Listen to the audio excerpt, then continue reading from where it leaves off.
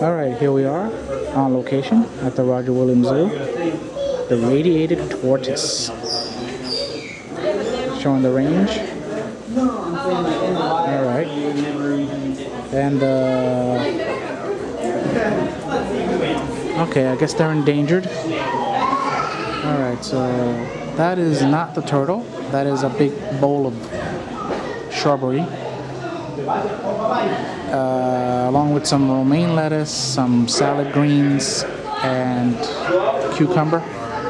So, all right, let me get a better shot here of the fella here, and uh, dug himself a hole in the in the hay.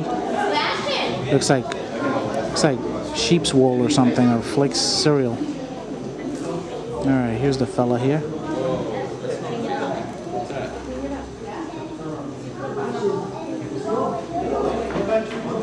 Look at that.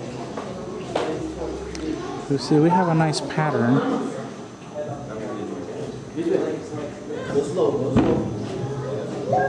All right. So there's the radiated tortoise. With his uh, big salad bowl. Here we have another one in the distance. Let's focus.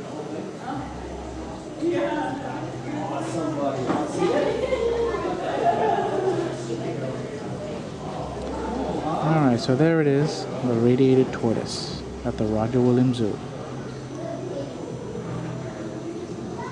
Signing off.